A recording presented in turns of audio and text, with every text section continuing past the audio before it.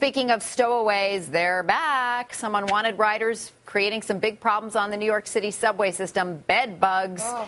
were discovered. Yes, sorry to tell you about that. On at least three subway cars. The cars have since been taken out of service for fumigation. And according to reports, some of the bugs were found in seat cushions, in train cabs, which are used by conductors. So it looks like the bed bugs, they found a way to escape the hotel rooms and doing a little sightseeing perhaps around New York.